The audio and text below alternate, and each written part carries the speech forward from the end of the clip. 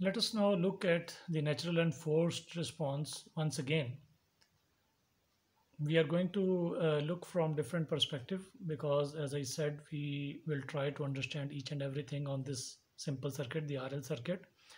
And the forced response is what we are looking at right now. But let us now discuss from a mathematical point of view, how we can uh, arrive or understand the natural response and forced response. So for example, a typical differential equation from mathematics point of view that we have encountered till now would look something like this. So we have a constant here, P, then I. So this term has a derivative of I, this is this has I itself. And then we are going to get something like Q here. Let us for now assume that Q is a function of time as well although the sources that we use in this circuit uh, in this course are uh, DC sources, constant sources, constant sources. So therefore, uh, we will take this as constant, but we will we will take that constant later on.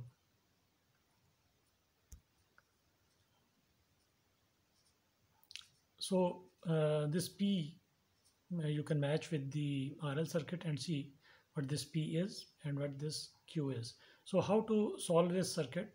Uh, sorry, this equation, differential equation. So we can write this as di plus pi dt and q dt. Now in uh, pure mathematics, uh, there is a method of solving differential equations where we take a, an integrating factor and multiply both sides with an integrating factor. You will see the benefit of doing this because obviously when we do something we are not uh, we don't want to, ch to change the mathematical uh, equality. So whatever we do here, we do here, we must make sure that this equality holds.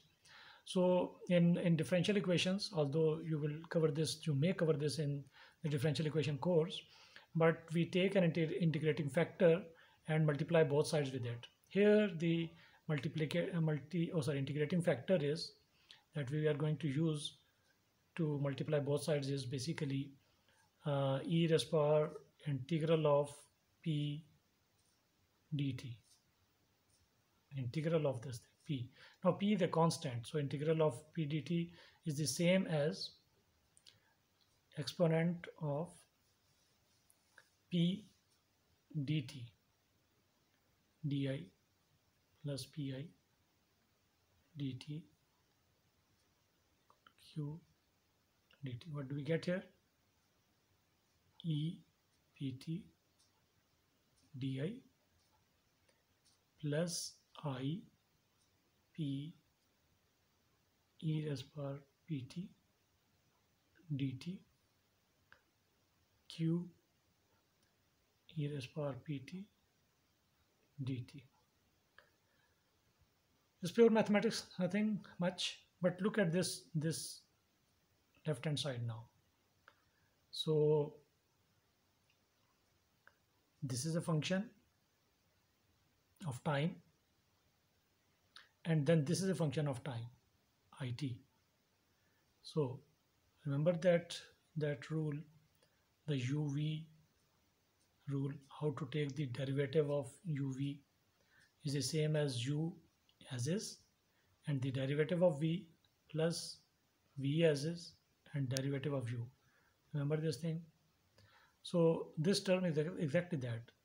U as is derivative of V and V as is derivative of U.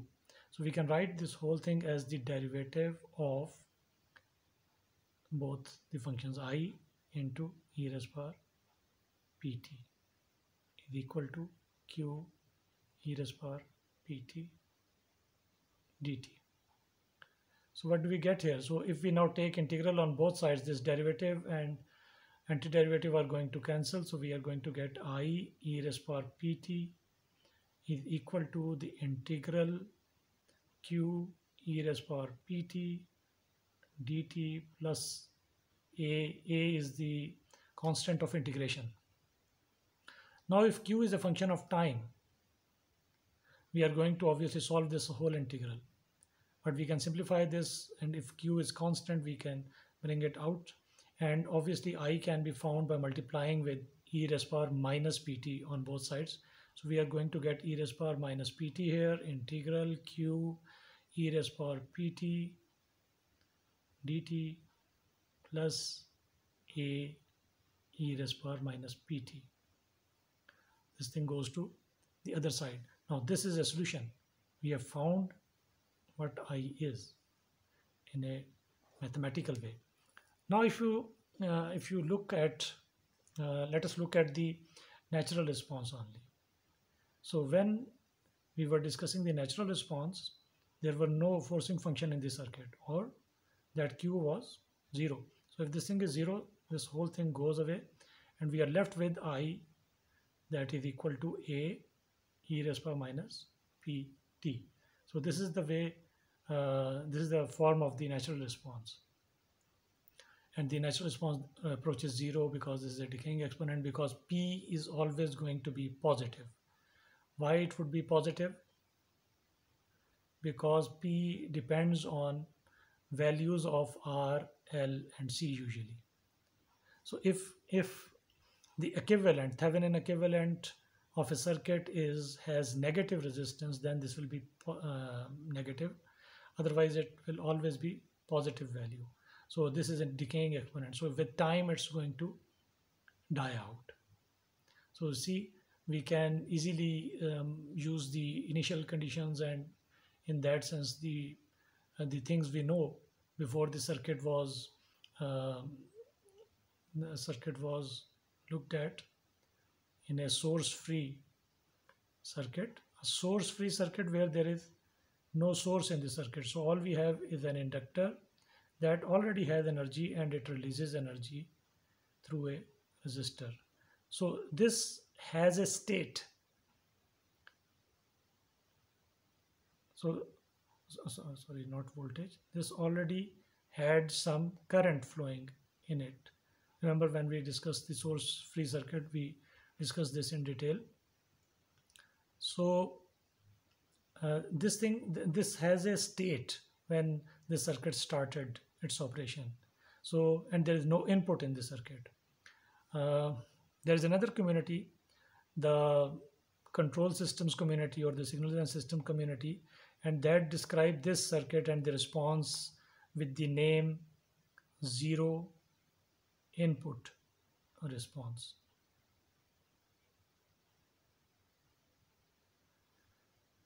this is another uh, term that can be added to that list of natural response and force response and the steady state response, transient response and the uh, complementary solution and the particular integral or particular solution. So this community says this, this solution will be called the zero input response because there is no input. All we have is a state. And when we have that uh, voltage source with R and L as in previous videos, they call that the zero state response. Remember, the inductor there did not have a uh, did not have initial current there. So that is known as zero state response. So these are two terms. In zero state response, all the energy storing elements must have zero state. Why? Because we want to find how the input is going to behave. For example, in the case where we that we were dealing with, we have a voltage source and then an R and L. This is the case of zero state response. This does not have a state before the circuit started operation. So this is zero state response and this is zero input response. These are, these are two other terms. But because in circuit analysis, usually we use the terms natural response, for example, the, the natural response, the force response, or the terms that I like basically are the transient response. This is the transient response, and then the uh, the steady state response. So the response in this case has only a transient response term, no steady state, or the steady state term is zero, because once all the energy here is released, what we are left with is an inductor with no energy. So that is its steady state response. So this is how natural response can be found. When Q is zero, we can find this. But what about the forced response?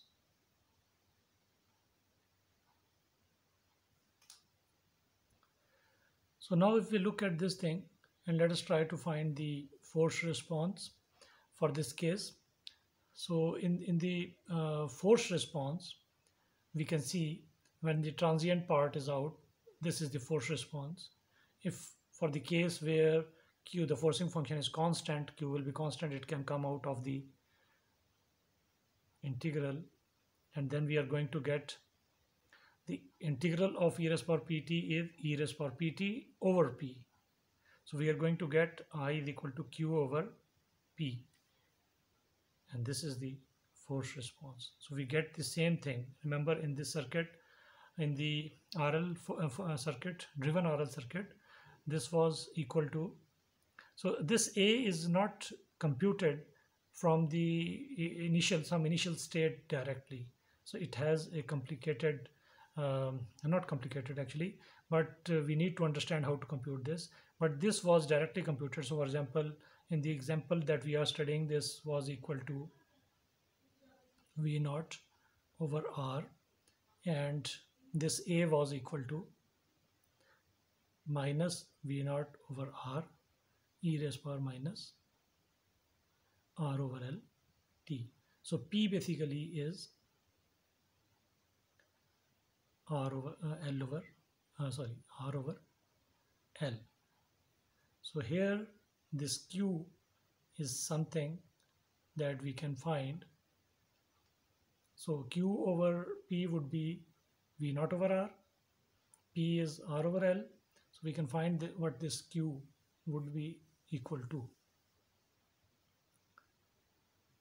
So